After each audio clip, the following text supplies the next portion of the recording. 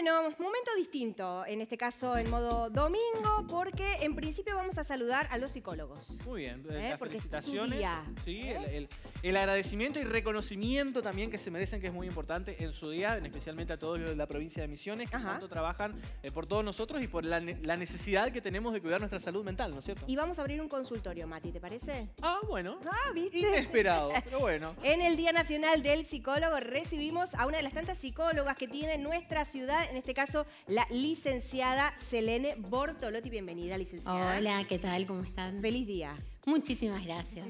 Bueno, qué tarea difícil la del psicólogo, ¿no? Escuchar problemas o dilemas ajenos y tratar de llevar una solución. Sí, totalmente. Es bastante complejo. Tenés que tener un punto bastante objetivo, siempre fiel a, a lo que es la teoría. Dejar de lado todo tu punto de vista o tus propias opiniones, tus propios pensamientos y poder observar realmente- lo que le pasa al otro, qué le pasa al otro con su discurso, con su historia, con lo que le está pasando en el día a día. Aparte, qué difícil que ante cada anécdota, problema que se cuenta, tener una respuesta o hacer que se replantee lo que está diciendo de una forma, ¿no es cierto? Claro, exactamente. Eso es algo que siempre preguntan, cómo uno tiene toda esa información en la mente.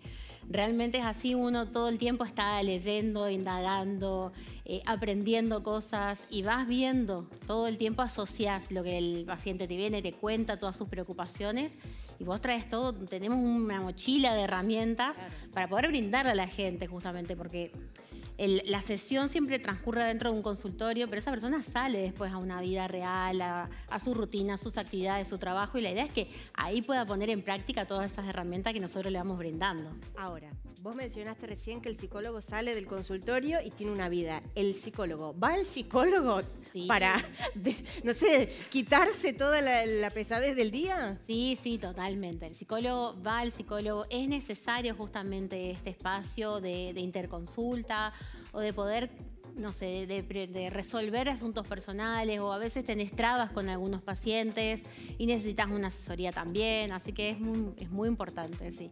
Cada psicólogo también tiene su espacio, ¿no? Algunos también buscan un poco desde el deporte, eh, desde, desde la lectura, del aprendizaje. Cada uno va buscando diferentes espacios, pero el, espacio terapéutico es muy importante. Claro, eso, eso es otra, otra cuestión también que por ahí no todos conocemos, que es la distinta, la diversidad que hay de especialistas, ¿no es cierto?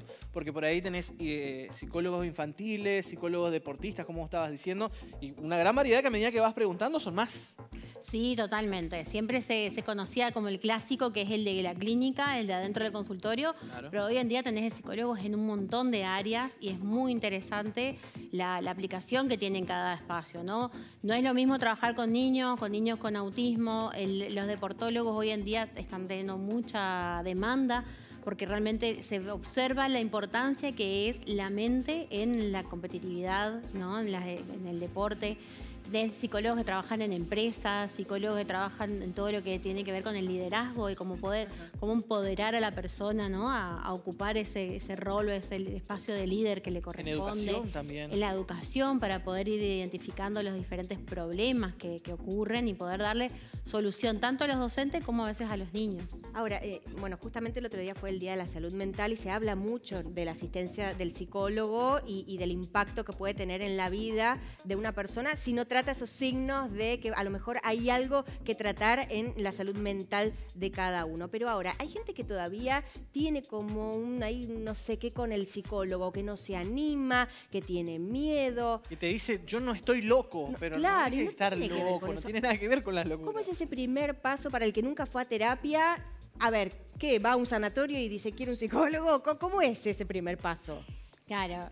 Eh, sí, hay mucha gente que todavía piensa que el psicólogo es para locos. Ya no tanto como antes, por suerte.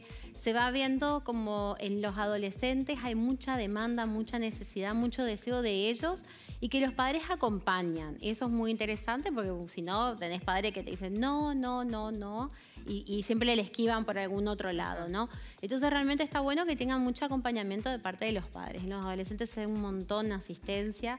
Eh, cuando uno tiene ganas de ir al psicólogo no necesitas ningún tipo de derivación. Hay gente que dice, no, tenés que ir a la derivación del médico, del psiquiatra. No, No es necesario. no es necesario, vos podés buscar el psicólogo que te recomiendan, podés en el- la, la página del colegio psicólogos están todo el listado de psicólogos que están en la provincia y podés ir viendo cuál te queda cerca, cuál te queda cómodo, cuál trabaja virtual, cuál trabaja con tu obra social.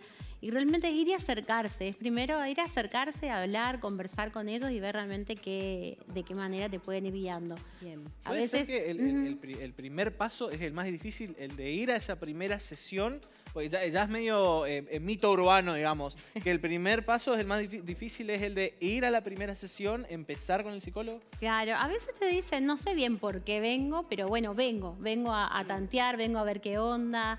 Eh, qué sucede con mi vida. Y, bueno, empezamos a como una charla más cotidiana hasta que uno va viendo dónde se va manifestando los diferentes problemas o situaciones más complejas que por ahí no estás subiendo a atravesar, porque el psicólogo justamente eso, te ayuda a dar otro punto de vista en lo que vos estás viviendo para resolverlo de una manera distinta. Bien. Licenciada, hacemos un, corte acá, una pausa. Le recordamos a la gente que hay un número de teléfono por si quieren hacer algún tipo de consulta. Vamos a aprovechar este consultorio porque tenemos muchísimo más para hablar en el Día del Psicólogo. En un ratito seguimos.